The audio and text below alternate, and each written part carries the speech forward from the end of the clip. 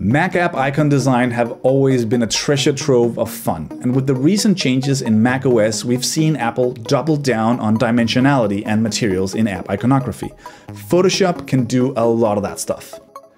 So let's say that we want to make a new Finder app icon. I make some really nice templates for icons over at applypixels.com, but really all you need is a 1024 by 1024 pixel canvas. So we could just start by opening up Photoshop and creating a new document. 1024 by 1024 pixels is the largest size needed for macOS app icons. And we'll go down and make sure that the background color is transparent uh, just hit create and we can start to create our app icon in here. We could go over and use something like uh, the rounded rectangle tool, for example, and uh, we can sort of drag out a shape here. Oh, and here's a quick tip for you. We'll try to spice this thing up with little quick tips. The shift key is a magical key in Photoshop and holding down shift key uh, has all sorts of properties, but in the case of you dragging out a shape, it makes sure that the proportions stay equal so that you can get a perfect square and we can use these live shape properties, which I love up here. Uh, we can go and say, okay, like maybe something like 120.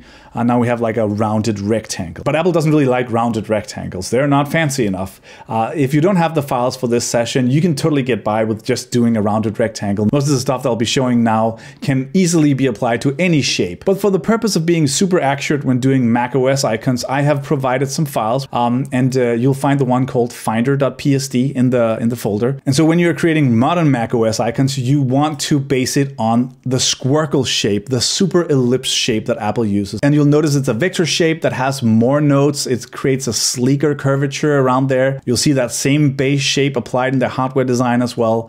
Uh, and you can get that from the template file. There's also a bunch of rules when you do icons. We're not going to talk a lot about those rules in this session, but for the purpose of being accurate in these template files, you'll also find a folder called grid plus padding, uh, which as you can see shows you how normal app icons are supposed to uh, uh, be padded on the macOS platform.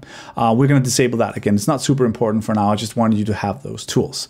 Okay, how do we even begin to add some dimensionality into this? Well, one thing that we can do is uh, change the color of the base, first of all. Let's go in, let's choose like a, a bluish hue. We're trying to make the Finder app icon, right? And so we kind of want, um, you know, something like that. We're going to use the magic powers bestowed to us by Photoshop layer styles. I'm going to right click this layer here uh, and I'm hitting blending options, which gives me access to the layer styles pane. And this is really where all the magic happens. And uh, we kind of want this shape to look like it's like raised from the background. And one of my favorite ways of doing that is using inner glow. And as you can see, I'm using the blend mode multiply to sort of darken the outer areas of this whole shape. 50% opacity, I'm using a size 10. If this was bigger, like the shadow would be softer, kind of like this, but we want that small, subtle, sharp shadow. So that's a start. Now what we're gonna do next is apply some lighting to this whole shape. And uh, there's more ways of making lighting in Photoshop than there are attendees at Adobe Max. But here's one of my favorite ways of doing it. And let's make this as a quick tip. Here's Michael's cool way of adding masked gradient highlights. You'll see me coming down and adding a, a gradient to this. Uh, it's just going to be pure white to transparent white. We're going to hit reverse so that the lighting is coming from the top. You'll notice that this gradient fill actually has a mask already. We don't like this mask. This is a raster based mask. And so I'm going to delete that mask copy the vectors from the layer you want to mask. In this case, the base shape layer. Make sure that you have extras shown in Photoshop, uh, which you can see by going into View and hitting Extras or hitting Command H because you want access to those vector nodes here. I'm gonna go over and choose my direct selection tool or hitting A uh, so that I can select all these vector nodes from this base shape. And I'm just gonna drag a rectangle around it and you see it selects all the nodes. I'm gonna hit Command C, copy that stuff, and I'm gonna select the gradient fill layer and just hit Command V and paste it. And so now we have a vector-based mask instead of a raster-based mask. Vector-based masks are far superior for many reasons. You're just gonna have to take my word for it. We still want to clip this gradient fill to the base shape so that the layer styles that we have applied uh, will be prioritized. And the way that we do that is simply by uh, holding Option and just placing the cursor between the two layers and just left clicking.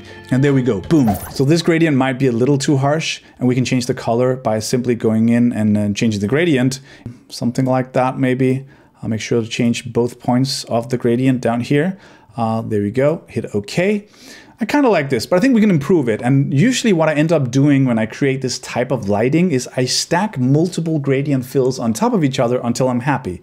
Um, so let's go down and add yet another gradient fill down here, gradient. Uh, we're gonna just uh, reverse it and uh, we're gonna delete the raster mask and we're gonna paste the vector mask and we're gonna clip it onto the layer. And then for this one, what I want to do is I want to play around with blending modes. I love blending modes. It's really one of the powers of Photoshop. And my favorite blending mode is actually overlay.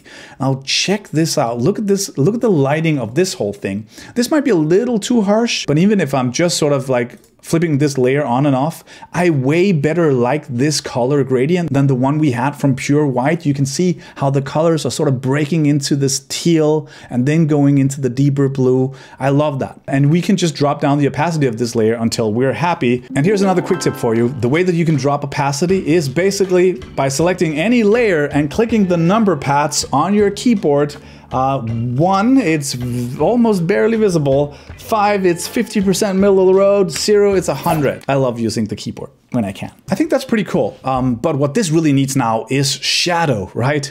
Uh, and there are so many ways to do shadow. Here's one of my favorite ones. I usually take the layer that I want to cast a shadow and copy it. And here's another quick tip for you. Holding down Option and dragging out any layer will create a duplicate version of that layer. And so now we have a base copy. We can disable the effects from this one. Let's rename it to Shadow. Change the color to like something like black. We want to apply some effects to this. And so we will go in and we will hit convert to smart object and we're going to go into filter and we're going to apply Gaussian blur. There we go. Maybe something like a radius of 10 is fine. Um, it's like a big soft thing. Here you go. It looks like clip art from the 90s. And what we'll then do is drop down the opacity to something a little more manageable. And what I like to do is just offset the shadow just a little bit underneath the shape, kind of like this. And there you go. Look at that thing. Now we kind of have something. It's a shape that definitely has mass, but really it consists of this shadow layer here. If we disable that, we disable the effects on the base shape layer and the two gradient fills, and boom, we're left back with just that simple flat shape. So just by adding those things, we kind of create this illusion of, of an object in space. I think that's really cool. Anyways, we're trying to make the Finder icon here, so let's get back on track. Um, you guys know that the Finder icon has that cube face, right? And really, what I could do is just go to the pen tool, hit P, and start to draw out that little shape there. But I'm not gonna make you look through 20 minutes of me tweaking my vectors until I'm happy. So like a good cooking program, I've kind of cheated a little bit and uh, you'll find a folder in your files called right side. Um, if you enable that, you'll notice this bad boy here. Let me just break it down for you because it's really not that complex and it's built with the exact same tools almost as what we just did. As you can see, this base shape is really just vector. So let's try to build it back up to better understand how to get this effect. First of all, we're adding back in the shadow. It's made in exactly the same way as the shadow we just did. Let's reapply these effects to the base layer and go over them one by one. So first of all, bevel and emboss. It's such a neat way to add like a small highlight or a small shadow to an edge, in this case both. Uh, you can see if I enable it and disable it, it sort of creates that subtle light there. We're using inner glow just like we did before, which I feel adds like the illusion of uh, the edge of this thing uh, having some curvature. And then we're dropping shadow and shout out to when the Photoshop team announced that we could stack multiple layer styles. I was in the crowd that day and I went wild. Um, multiple drop shadows is nice. Here we have sort of a multiply, which is pretty a pretty hard shadow right underneath, and then we have a another multiply, but with some color in it uh, to sort of like blend that blend it in a little bit more. There you go.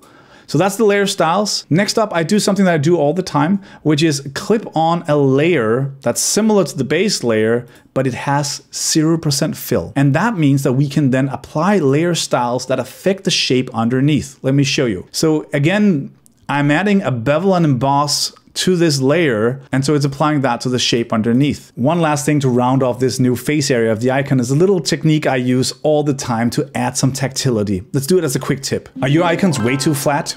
Do you need a little bit of tactility in your life? Try noise. I'm just gonna go up here and choose a rectangle tool and just drag out a square shape. Then I'm gonna go and convert that rectangle to a smart object. And then I'm gonna go into filter and I'm gonna go into noise, add noise. I usually go with something like the max amount and I'm going with the monochromatic because I don't really want the colors in there. I just want black and white and hit OK. Now you have a really noisy picture. But the cool thing is this thing, we can call it noise, this layer, you can choose something like overlay and you can clip it onto things like this face area. Uh, and then you can drop down the opacity and look at that. You start to see that this noise layer actually kind of creates some definition in this shape. It looks like it's made from a real material. Okay, the Finder icon is almost done. But of course, we need to put a smile on his face. Here's how you do that. Enable this layer. Uh, look into this folder. It's literally just three shape layers. I apply a few effects to them to make them appear as they're sort of inset into the material. And that's it. That's our little guy. That's the Finder icon.